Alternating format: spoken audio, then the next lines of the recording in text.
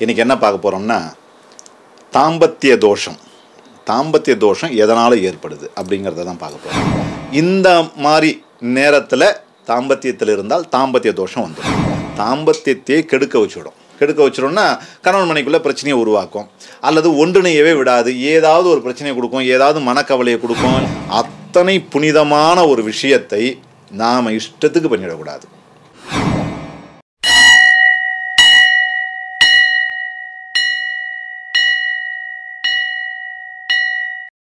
வணக்கம். வாழ்க நலம். இன்றைக்கி என்ன பார்க்க போகிறோம்னா தாம்பத்திய தோஷம். தாம்பத்திய தோஷம் எதனால் ஏற்படுது அப்படிங்கிறத தான் பார்க்க போகிறோம் அதுக்கு முன்னாடி ஒரு விஷயம் என்னென்னா நம்ம வண்டியில் வாகனங்களில் போகும்போது ஹெல்மெட் போட்டுன்னு போங்க.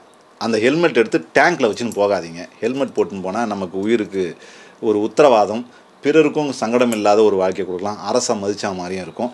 எல்லாத்த விட நம்ம உயிர் நல்லாயிருக்கும் அப்படின்னு சொல்லிட்டு ஹெல்மெட்டை பயன்படுத்துங்க. தலைக்கவசத்தை உயிர் கவசம்னு சொல்லுவாங்க அதை பயன்படுத்துங்க அப்படின்னு சொல்லிட்டு நாம் அந்த தாம்பத்திய தோஷம் வந்துடலாம். நிறைய இடத்துல இந்த பிரச்சனை உண்டு. ஏன்னா இதை பற்றி நான் வீடியோ பண்ணியிருக்கேன். இப்போ திரும்பவும் என்கிட்ட கேட்டதுனால இந்த தாம்பத்திய தோஷம் எதனால் ஏற்படுது அப்படின்றேன். அப்படின்னா இந்த தாம்பத்திய தோஷம் ஏற்பட்டால் என்ன ஆகும் இல்லை ஏற்ப எதனால் ஏற்படுது தோஷம் வருது? எப்படி எப்படி சளி பிடிக்குது? எப்படி இந்த மாதிரி ஜுரம் வருது அப்படின்றோம் இல்லையா? வந்தால் என்ன நடக்கும் அப்படிங்கிறது ஒரு பக்கம். எப்படி வருதுங்கிறதே ஒரு பக்கம். அதை எப்படி வருதுன்னு பார்ப்போம். கணவன் மனைவி ஒன்றிணைந்த பின்னாடி நிறைய வீட்டுங்களில் ஒரு விஷயம் இருக்குது அது குழந்தை வந்து ஒரு ரெண்டு வயசு குழந்தை மூணு வயசு குழந்தை அஞ்சு வயசு குழந்தையாக இருக்கும். அதை நான் அதை வந்து க கணவன் ஒரு பக்கம் படுத்திருப்பாங்க மனைவி ஒரு பக்கம் படுத்திருப்பாங்க கட்டிலில் நடுப்புற குழந்தைய போட்டுன்னு படுப்பாங்க.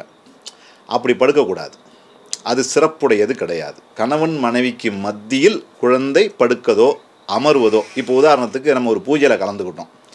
ஒரு கிரகப்பிரவேச பூஜை அல்லது ஒரு ஹோமத்தில் கலந்துக்கிறோம்னா கணவன் மனைவி தான் உட்கார்ந்து குழந்தைகள் ஏ ஒன்று இடது பக்கம் வலது பக்கம் உட்காரணுமே தவிர ரெண்டு பேருக்கு மத்தியில் உட்காரக்கூடாது. அது சாஸ்திரத்துக்கு சம்பிரதாயத்துக்கு உகந்தது ஆகாது. அதே மாதிரி இரவு படுக்கும் போதும் கட்டிலில் ஒரு பக்கம் மனைவி ஒரு பக்கம் கணவன் படுத்து நடுப்புற குழந்தைய போட்டுக்குவாங்க. அப்படி படுப்பதும் தவறு. ஏதாவது ஒரு பக்கம் நமக்கு வந்து குழந்தை இருக்கணுமே தவிர ரெண்டு பேருக்கும் நடுப்புற இருக்கக்கூடாது. கணவன் மனைவி ஒன்றிணைந்த பின்னாடி திரும்பி இது மாதிரி வந்து படுத்துக்குவாங்க. குழந்தைய நடுப்புற போட்டுவிட்டு இந்த அண்டி அந்த இது வந்து தாம்பத்திய தோஷம் ஆகிடும் குழந்தைக்கும் தோஷம் நமக்கும் தோஷம். அடுத்தது வீட்டில் ஒரு ஒருத்தருக்கு நம்ம வீட்டில் இருக்கிற யாருக்காவது நோய் வாய்ப்பட்டு ஒரு பிரச்சனையாகி ஆஸ்பத்திரிக்கெலாம் போயிட்டுக்கிட்டு வந்திருப்போம்.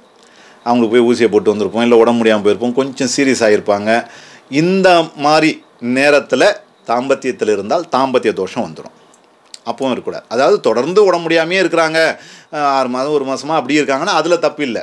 அன்னைக்கு ஆனாங்க அன்னைக்கு தான் போயிட்டுக்கிட்டு வந்திருக்கிறோம் அப்படின்னு வந்தால் அது தாம்பத்திய தோஷமாகிடும் அடுத்து நம்ம வீட்டில் யாராவது கல்யாணமாகாத ஒரு பெண் இருக்கா? நம்ம தங்கையோ நம்ம வீட்டில் யாராவது இருக்காங்க அப்படின்னா அந்த பெண் தலைக்கு குளிச்சிருந்தா அதாவது மாதவிலக்கு காலமாக இருந்து இருந்திருந்தால் அன்னைக்கு கணவன் மனைவி ஒன்றிணைந்து அந்த பெண்ணை தொட்டால் தாம்பத்திய தோஷம் வந்துடும் எப்படிலாம் வருது பாருங்கள் தாம்பத்திய தோஷம்.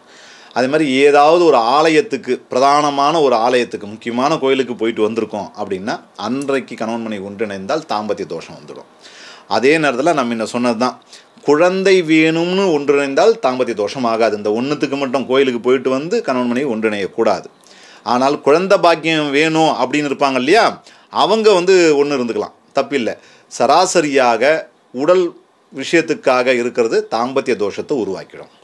அதே மாதிரி இன் தாம்பத் இருந்துட்டு மறுநாள் காலைல கோயிலுக்கு போகிறதாக இருந்தாலும் தாம்பத்திய தோஷம் ஆகிடும் இதே குழந்தை வேணும்னு இருந்தாங்கன்னா அது தாம்பத்திய தோஷம் ஆகாது. இது மாதிரி தாம்பத்திய தோஷங்கிறது இத்தனை ரகங்கள் இருக்குது சரி இந்த தோஷத்தை பற்றி இவ்வளோ சொல்கிறோமே இந்த தோஷம்னா என்ன? இது வந்தால் என்ன பிரச்சனை அப்படின்னா இது என்ன பிரச்சனைனா தாம்பத்தியத்தையே கெடுத்துடும் அது.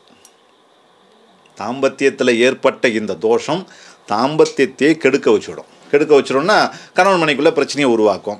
அல்லது ஒன்றிணையவே விடாது. ஏதாவது ஒரு பிரச்சனையை கொடுக்கும். ஏதாவது மனக்கவலையை கொடுக்கும். இல்லை ரெண்டு பேருக்கும் கரெக்டாக இன்றைக்கி இருக்கலாம் அப்படின்னு முடிவு பண்ணுவாங்க அன்றைக்கி சண்டை வந்துடும் இந்த மாதிரி கணவன் மனைவியே ஒரு ஒரு கணவன் மனைவி அந்த தாம்பத்தியத்தை ஒன்றிணைய விடாமல் பண்ணிவிடும் அந்த தாம்பத்திய தோஷம். இந்த தாம்பத்திய தோஷம் என்ன பண்ணுன்னா இதை தாண்டி என்ன பண்ணால் மன வருத்தம் மனக்கவலையை கொடுத்துரும். சில சுபகாரியங்களை கெடுக்கும். அதனால் நான் ஏற்கனவே சொன்னபடி இதெல்லாம் தவிர்ப்பது சிறப்பு. தாம்பத்தியம்ங்கிறது மிக புனிதமான ஒன்று. ரெண்டு மூணு வீடியோ போட்டிருக்கேன். நிறைய பேர் பார்த்த வீடியோ அது.